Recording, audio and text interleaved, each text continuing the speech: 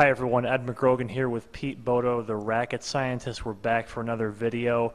This one on a post uh, you titled ATP Politics, and I think uh, the inspiration with this was for a few reasons. There was the main blue clay debate, there was some increased prize money going on at the slams, all really tying back to the power that the players have and really the interaction with ATP leadership. And, and that's um, where some of your comments came in here. One that, that really hit on that, um, and, and maybe you wanted to elaborate on, was from P Space, writing that, um, you know, about the blue clay issue. Um, he was saying that there's a board of seven people split between the players, some officials, and then the old CEO, Adam Helfant. And that's where kind of, that's where things, this decision was made, really. Um, and, and the, the the quote I wanted to read from the comment is, quote, I think the main idiocy of this whole issue is even putting it up for a vote. You do not try a new surface on an ATP Masters, do it in a Challenger for a couple years, then make the switch. So first I just want to ask about the actual board, if that's entirely accurate. Well, no, it's not accurate, and I think, you know, P Space is partially right, partially wrong. He's right in a sense, I, I believe he's right in that this should have been played, in a regular tournament should have been played on his surface before. That was a, a big mistake not to play one, even if you thought everything was going to go great, as they did think. But I think more importantly, people don't understand that this is not, this is not a board issue.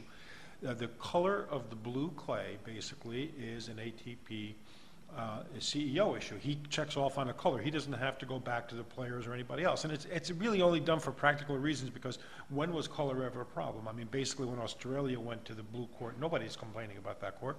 People love it, etc. So color has never been a problem.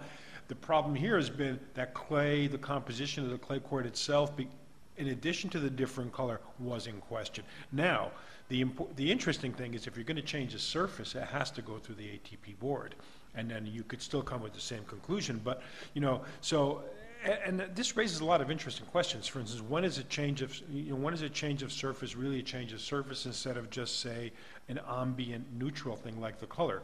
You know, I mean, every clay court plays differently. We know yeah. that. Yeah, for this one here, the, the main uh, issue was, um, you know, it, it, was more about the playability, I think, in the end. And that was, I think, a little unexpected after we've heard about blue clay for a little while now. And, and even that point about having a challenger, and I know um, Ion Tiriac wants to do that. And, and I've also read that they, they even have, they even had blue clay practice courts there in Madrid in previous years. But I think what got out of hand with this was that, um, you know, the, the finished product just it wasn't the right recipe for whatever reason. And well, no, the composition of the court was a problem. Basically, they, they blew it, and a part of that maybe was the fault of the city of Madrid that does not allow them to keep the courts in place. Those courts, whether they're red or blue or yellow or orange or black, are going to be replaced every year, or they have been up to now. Up now, to now right. in light of this controversy, they've agreed to keep those things. But the important thing to remember here is that this is this is a board decision when it's a change of surface.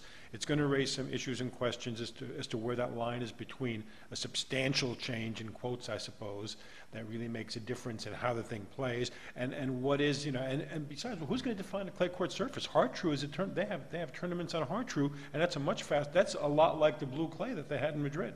So it, there's going to be interesting discussions going on here. The two players that made the most um, noise about that, Rafael Nadal, Novak Djokovic, both um, lose relatively early by their standards in Madrid.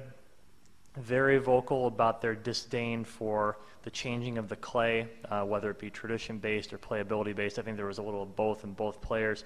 So Ada wrote um, about this is that, quote, my guess is that they would remain disgruntled as long as they feel they're being bossed around by the ATP administration and the tournament directors.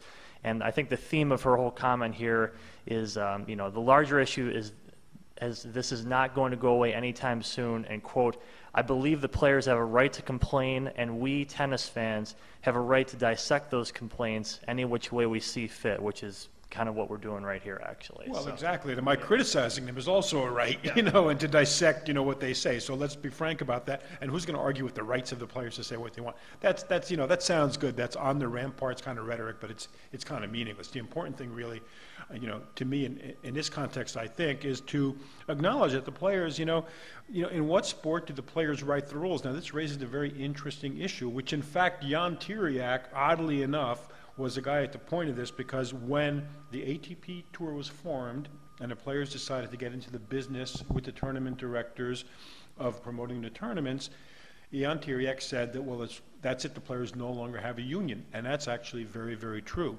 So now, you know, the, the other aspect of this is because the players are a vested partner in this, in this group, it's not the AT, what's this about the ATP guys bossing them around? It's, it's their guys. They're the people who, who constitute this. Now, you can argue about whether some guys should have made a judgment call on, on some change in rules or on, on a blue court even. Helfant is the one who approved the blue court, didn't need anybody else's backing, it was his decision. You know, but, the, but this underscores the extent to which the players do not have a union. And that's always been an issue that we've seen pop up a while in terms of, um, for example, last year's U.S. Open when you saw the um, players complaining about the, the amount of rest they had for the Super Saturday issue kind of ties back. It's really that the representation isn't there to do much against these bigger tournaments. And, and, and this is, I think, another example of, of the lack of cohesiveness among all tennis players. It kind of gives most of the power to the, you know, the tour leadership here. So. Yes, and that was by design. That's something that you've got to stress. The players wanted to, in their words, take control of the tour. They came up, they came up with a mechanism for it. They hired the guy who did it. So you know, there's no blame to be. And I'm not saying this justifies everything or, or that it explains or exonerates anybody. I'm just saying, look, this is this is the way the thing was designed to work, and it's working the way it was designed. The other the other issue you have to bring up here is, is you know, just to what degree should a contemporary current player have power to change or have what kind of voice should they have in a change of any kind? And, you know, when, when it comes to things like change of surface, you know, Pat Cash was the Wimbledon champion, I- what was it, 80, 87? Next year, they changed the Australian Open from grass, Cash's best surface, to, to, to, to a, a cement court. Now, I mean, boy, you talk about a change. You know, that neutralizes, yeah, that neutralizes his not rushing. Yeah, yeah. Absolutely. U.S. Open goes from grass to Har-Tru, green Har-Tru clay, much like the blue clay in Madrid. Where were all the giant complaints, and where was everybody thinking how terrible this is and all? You know, it's just look. It was it was anti-innovative. The vested interests are, are always going to look out for their own best interests. That's what I think Nadal and Djokovic were doing. Should the Wimbledon grass become blue as well? That's kind of the you know we got we did get a lot of quotes about this. I know I think you actually you you found the blue clay actually, you know it, it wasn't the results, the playability might not have been there, but I think you thought the the idea actually maybe turned out pretty well. But I think a lot of people Zola wrote that one. Um, quote, you are echoing the voice of Tiriac, a multi-billionaire who does not give a damn about the players. All he wants is more money. What do you think about Tiriac in this whole thing? Because he, he comes off certainly, I think in most people's eyes, as kind of a villain in this whole thing. And, you know, he's been viewed kind of in that light for a while. But just, you know, the end of this whole thing, where does he go from here? Look, I mean, that comment, by the way, I think is totally out of line. I was accused by others, you know, in, in that same thread of conversations of being A, related to Tiriac, which I am not. I am no blood kin to Ion Tiriac, everybody. I was also accused of being on a take on Tiriac's payroll. I am not on Tiriac's payroll, everybody. The bottom line is, though, a lot of these people have no sense of tennis history. It isn't like tennis that Tiriac is some crazy Romanian billionaire who's trying to rip off the system and make a ton of money. The guy was a former player. He was a French Open doubles champion. He did a lot of very questionable things in his life and career, and I actually called him out on those and had numerous conflicts with him and as well as some of his clients, like Guillermo Vilas at one time. However, the bottom line is the guy knows the game. You can't call this guy anti-player. This guy has been a player. He's managed players. He's the manager and coach of of Boris Becker, Goran Ivaniš- Ivanišević, uh, any number, Henri Leconte, Guillermo Vilas. I mean, this guy has done everything in tennis as a player, as well as a manager, as well as a coach.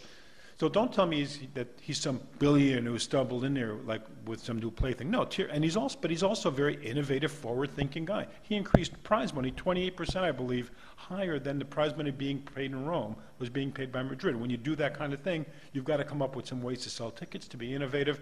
I think it's an experiment that was well worth making. I hope it goes on. It was made for a Racquet Scientist post. I think we can safely say that. Um, we'll be back with more videos the coming weeks. Thanks again for Pete Bodo. I'm Ed McGrogan.